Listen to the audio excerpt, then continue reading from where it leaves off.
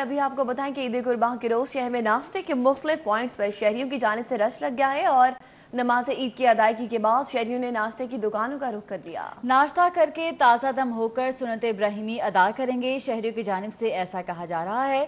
عید قربان کے روز شہر میں ناشتے کے مختلف پوائنٹس پر شہریوں کا رش دیکھنے میں آ رہا ہے۔ نماز عید کی ادائیگی کے بعد شہریوں نے ناشتے کی دکانوں کا رخ کر لیا ہے۔ جبکہ شہریوں کا کہنا ہے کہ ناشتہ کر کے تازہ دم ہو کر سنت ابراہیمی ادا کریں گے۔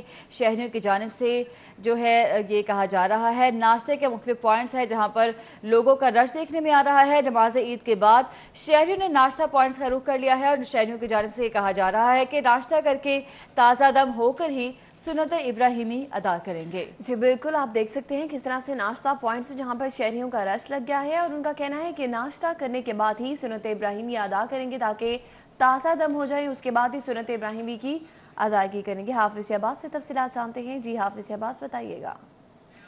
ہاں جی بالکل، عید الاضحیٰ کا دن ہے، عید کی خوشیاں ہیں اور ہر طرف جو ہے، عید سنت ابراہیمی کی ادائیگی کا سلسلہ جاری ہے، جہاں سنت ابراہیمی کا سلسلہ جاری ہے۔ وہیں پہ جو زندہ دلانے لاہور ہیں، وہ بھی اپنی روایت کو برقرار رکھتے ہوئے صبح ناشتے وقت کے لیے بھی گھروں سے نکلے۔ اس وقت بھی ناشتے کی جو مختلف جگہیں ہیں، مقامات ہیں، وہاں پر رش ہے۔ اس وقت ہمارے ساتھ اب موجود ہے مزنگ میں اور یہاں پر بھی ایک رش لگا ہوا ہے۔ ناشتے کی دکان ہے۔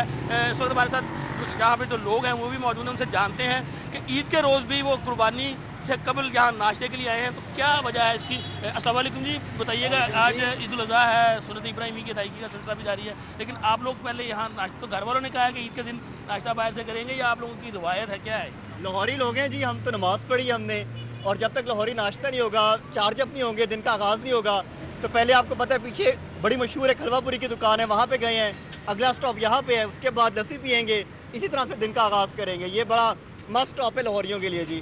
یہ بڑا مست ٹاپ ہے لاہور کے لیے یہاں ایک اور نوجوان موجود ہیں سے جانتے ہیں۔ آپ بتائیے گا کہ عید کے دن نماز پڑھنے کے بعد لوگ تو قربانی کا سلسلہ شروع کیا ہے لیکن آپ یہاں ناشتے کی جگہ پہنچے ہوئے ہیں۔ جی کیا بالکل عید کا دن ہے۔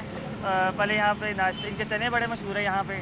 تو ناشتہ کر کے پھر دن کا آغاز کریں گے اور ناشتے کے لیے یہاں پہ آئے ہیں۔ جی ناشتے کے لیے آئے ہیں۔ جی سنا آپ نے جو زندہ دلانے لاہور ان کا یہ کہنا ہے کہ جہاں سنت ابراہیمی کا سلسلہ ہے اور انہوں نے ادا کرنی ہے لیکن اس سے پہلے لاہوریوں کی جو ایک روایت ہے کہ لاہوری کھانے میں بھی مشہور ہیں تو پہلے ہی اپنا ناشتہ کریں گے اور اس کے بعد جو ہے جی ٹھیک ہے۔ حافظ شہباز آپ کا بہت شکریہ۔